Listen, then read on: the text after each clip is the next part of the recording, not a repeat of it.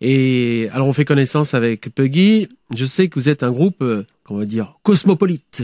C'est bien ça. Il y a Mais- un chanteur anglais, Ouais. euh, moi, Mathieu. C'est toi, Mathieu, ouais. Et moi, c'est Ziggy, euh, le batteur. Ziggy, je viens de euh, Suède. d'accord. Alors qui a le micro du chant. Alors on, va- peut bien l'entendre un petit peu parce qu'il va parler. Ainsi que Romain. Le bassiste. et Je suis français d'origine. et qui est français, voilà. Et voilà. Et donc et vous êtes euh, vous êtes basé en Belgique. À Bruxelles, ouais. Et vous vous considérez comme un groupe belge ou, ou cosmopolite européen euh, On se considère comme un groupe de rock. Ouais. Et puis euh, les nationalités, c'est un peu, c'est un peu par accident. Euh, merci à nos parents. Mais oui, voilà. Mais on se considère, oui, belge dans le sens où c'est là où on s'est rencontrés, c'est là où on a, on a vraiment commencé à, à jouer beaucoup. Et, et voilà. D'accord. Donc vous étiez déjà des musiciens chevronnés avant de monter le groupe? On jouait beaucoup dans pas mal de projets de reprises. Euh, Quand on est musicien, il faut essayer de gagner sa vie, c'est pas évident. Donc on se retrouve dans des cafés-concerts euh, où on essaie de trouver des jobs à gauche à droite dans les groupes de reprises, euh, genre des reprises d'ABBA ou des, des choses comme ça. Ah, oui, carrément. Ça, c'est très sympa, Ouais, ouais. ouais. Et, euh, et puis Romain, un jour, on a eu assez et, et il nous a invités, moi et Ziggy, de commencer un groupe, d'écrire des morceaux et de tourner et, et- avec l'idée de faire des stades un jour et, et de vendre plein de disques. Et, euh, et voilà, on, on- petit à petit, on envahit euh, et euh, voilà, on, espère que tout se passe comme il faut. D'accord. Et on espère qu'il n'y aura pas de reprise de, de ABBA à la fin. On y a pensé, ouais. Non, pourquoi pas en même temps. mais bon. Ah, c'est des bonnes chansons quand même. Et euh, donc, euh, vous, vous- ça a marché rapidement pour vous, puisque euh, vous m'avez l'air quand même de musicien assez chevronné. Donc, est-ce que tout a bien démarré assez, assez rapidement, facilement? Qui parle? Euh, Romain. bah, en fait, ça a commencé en Angleterre. En Ah. fait, on n'arrivait pas à trouver de concert en Belgique, donc on est parti là-bas. euh, ça a été un peu compliqué au début, forcément. euh, Pour tous les groupes, c'est toujours euh, dur au début. Et une fois qu'on fait plein de concerts, qu'on commence à se faire connaître, surtout via Internet et tout ça, euh, tout commence à arriver assez vite. En fait, on a fait quelques festivals en Angleterre et grâce à ça, on s'est fait signer en Belgique. Mhm. Et, euh, et à partir de là, on a on a évolué et maintenant on a atterri en France. euh, donc voilà, on espère Donc, que ça va bien se Alors, passer. si j'ai bien, si bien, alors vous êtes donc vous venez un peu partout, Voilà. vous vous installez en Belgique, mais vous ça marche en Angleterre et vous vous faites signer en Belgique pour finalement arriver en France et, et Exactement. j'espère pour vous que ça va marcher. Voilà, on fait des kilomètres. Puggy en session live acoustique avec le premier titre qui va être I do. c'est parti.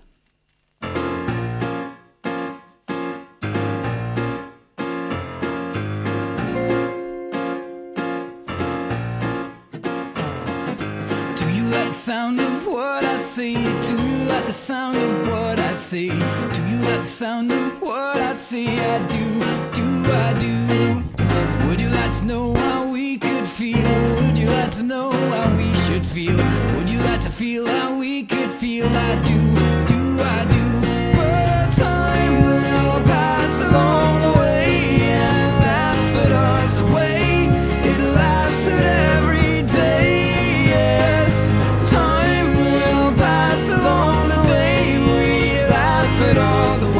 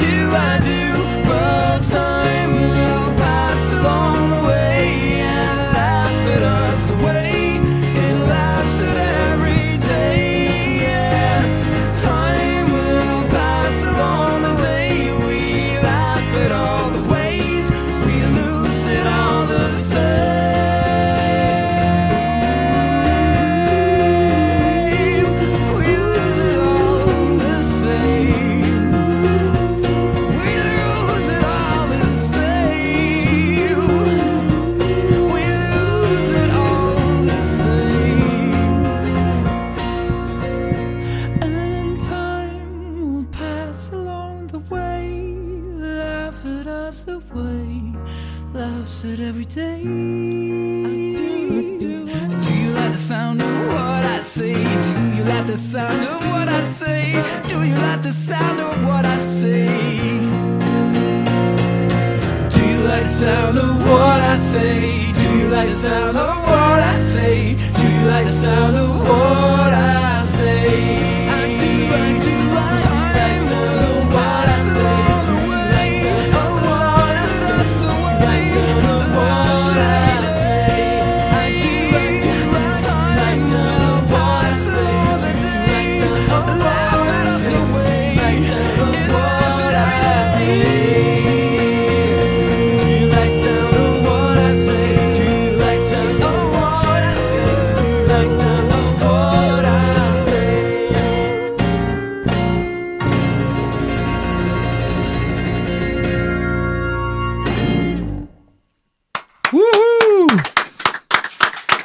Secours, c'est du live avec le groupe Puggy. Avec ce titre I Do qui euh, annonce la sortie du deuxième album. Vous en avez déjà fait un ou vous avez fait On en a fait un en indé euh, en Belgique, Mhm. qui euh, qu'on a réussi à vendre un peu en France en tournant. On a beaucoup tourné en fait, Mhm. et euh, mais qui n'est jamais officiellement sorti en France. Donc en France, c'est notre premier album qui va sortir dans quelques mois. D'accord. Et dans quelles conditions vous avez enregistré cet album? Le nouveau, Oui, dans le fameux studio de Bruxelles. Euh, ICP, oui. euh, super bien passé. Ils ont ils ont un backline, donc une, une sélection d'instruments hein, a de, des de folie. ouais. Euh, et en fait, ce qui était dur, c'est de passer du temps à travailler, d'enregistrer, plutôt que de passer euh, les journées dans, dans, dans les locaux à juste essayer tous les instruments. Ils ont des, ils ont des grosses caisses de la guerre des sécessions, ils ont des Moog des années 70, ils ont plein de claviers, ils ont plein de, ils ont des de banjos guitares de folie. de folie. Et Mm. donc, euh, donc c'était dur de vraiment de se concentrer, Ah de travailler sur le disque, parce qu'on voulait aller, on voulait aller jouer euh, sur tout ce qu'on pouvait, quoi. Et vous avez testé tout ça pour euh, à peu près 12 chansons, et tous assez euh, dans un format plutôt pop. hein. Ouais, on vient vraiment du du du songwriting. Mm. Euh, Beatles, tous ces groupes vraiment où, où la chanson a la place euh, devant. L'orchestration et l'arrangement, on prend le temps, on prend vraiment le temps d'essayer des choses et de de- d'essayer de, de rendre la chose intéressante. Mais fondamentalement, il faut un refrain, un couplet. Mm. Euh, Est-ce qu'il y a un songwriter dans le groupe?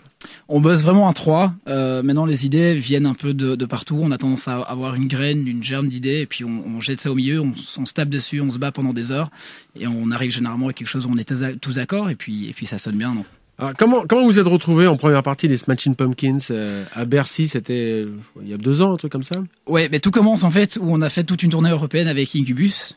Et ça, ça commence parce qu'on joue en Belgique sur euh, la scène euh, d'invitation, enfin la, la scène de découverte euh, d'un festival qui s'appelle Couleur Café, que vous connaissez tous en France, j'en suis sûr.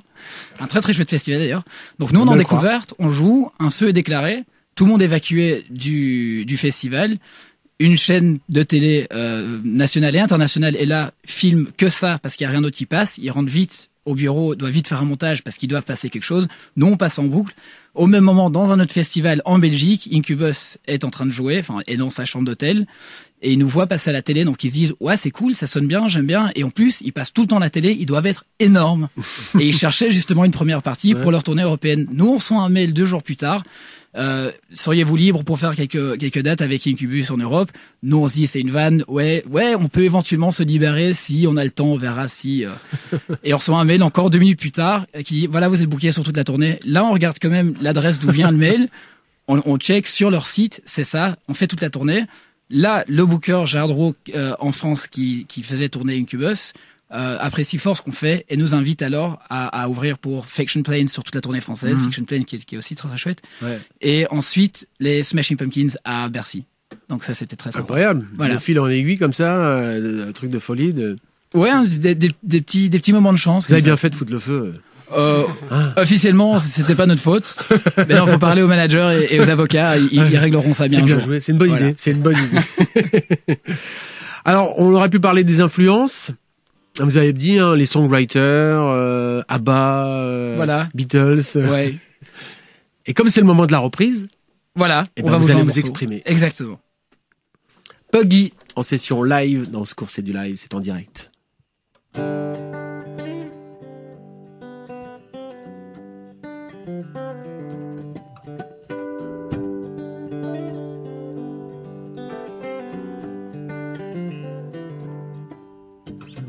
I once had a girl, or should I say, she once had me.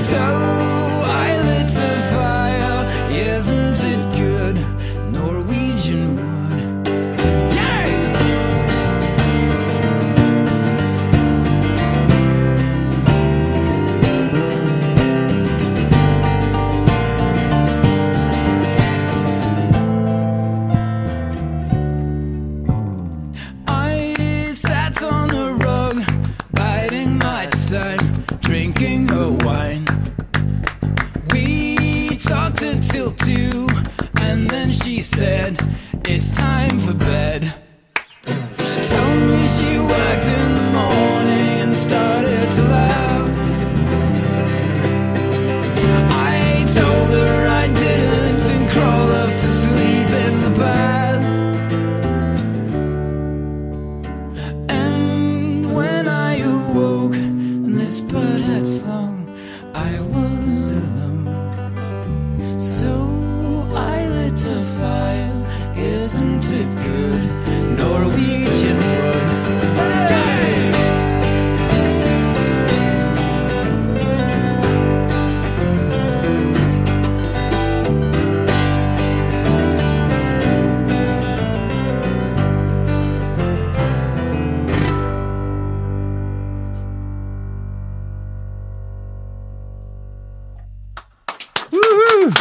Merci. Au secours, c'est du live avec Puggy et cette euh, superbe reprise de Norwegian Wood. Ah, il manque quelque chose quand même. La sitar. Oui. On l'a laissé à la maison parce qu'on avait des masses de place dans le van, donc. euh, Parce que c'était la première chanson euh, avec une sitar hein, dans la pop. Oui. Sur l'album Beatles, pense- Rubber Soul. Et c'est pour ça que George Harrison. A été invité par Ravi Shankar euh, de prendre des cours Voilà. à cause de ce morceau. Oui, c'est Ouais. ça. C'était pas évident hein, à prendre hein, quand même. Voilà. Bravo Puggy en tout cas, la sortie de l'album. Et puis alors, euh, deux dates de concert. Demain au point Au Point éphémère, Éphémère, ouais. ainsi que le 14 juin à la Cigale. Ouais. Voilà. Donc, euh, vous démarrez bien. hein. Et l'album, la sortie de l'album, c'est pour début mai, c'est Something You Might Like. Merci à vous. Merci. Merci à vous d'être passé. Merci beaucoup. Bonne soirée.